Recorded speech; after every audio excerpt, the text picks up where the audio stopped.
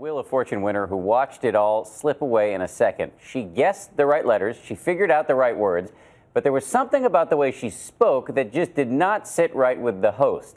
Here's ABC's Nick Watt. Renee Jarrett was on a roll. I'd like to solve Yep. seven swans a swimming.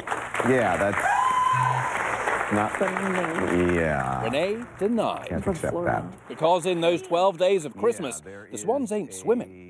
They're is there a- swimming yeah, there's a- with the G. $500? That one lost letter cost go back Jarrett and fix it, nearly but, uh, you know, that's right, $4,000. you have Cue 8,200. online outrage. Was the brave faced Jarrett robbed? It's happened before.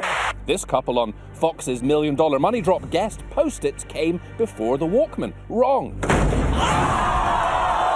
They lost 800 grand. But right, screamed the internet hordes, and Fox admitted a research error and offered them another shot.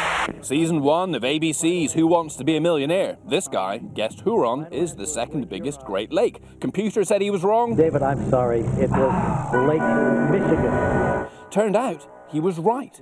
He came back for a do-over and went home with 125 grand.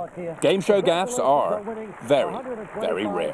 After the scandals of the 1950s when shows like 21 were fixed to keep telegenic contestants in the mix, Congress made it illegal to rig a game show. Behind the bonhomie, it's a tightly controlled medium as Pat Sajak, chief of the Persnickety Pronunciation Police, just confirmed. Renee knew what happened as well, and it was easy to do because she kind of did it in the vernacular and left off the G in Seven Swans a Swimming. You're harsh, Pat. You're harsh, but fair. Nick Watt, ABC News, Los Angeles.